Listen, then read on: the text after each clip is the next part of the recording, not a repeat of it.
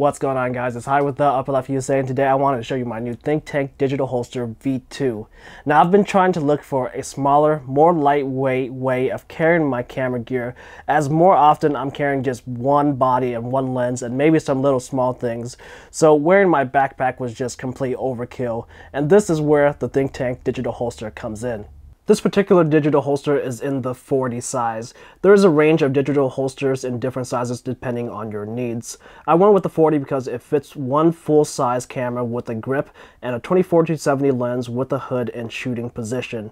This is perfect for me because I usually carry the Sony a7R II with the battery grip and the 24-70 f2.8. This bag also has a drop-down section that you can unzip from the bottom, increasing the length of the bag.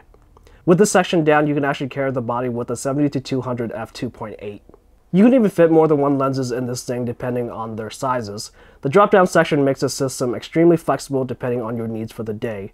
Again, there are different sizes so you can choose the one that works best for you. The digital holster also features a front stretch pocket for you to hold various things such as a lens cap and batteries. On the inside, there is a removable screen protector that separates the LCD screen from anything above it. The inner lid has a pocket where you can store additional things. I personally keep my memory card holders here. There's even a business card holder on the top lid, so you never have to forget them at home again. Out of the box, you can carry the digital holster in two ways, by the top grab handle or with the included shoulder strap. If you don't want to use as a messenger with the included shoulder strap, Think Tank also makes a variety of belts and harness systems that you can turn this thing into a hip or chest holster. On top of all of this, there's even an included seam-sealed rain cover.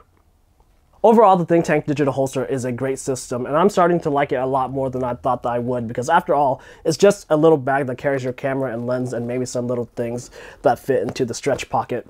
But, like I said, it was exactly what I needed, something that can just carry a body and a lens and get the job done, protect my equipment, and this thing does the perfect job.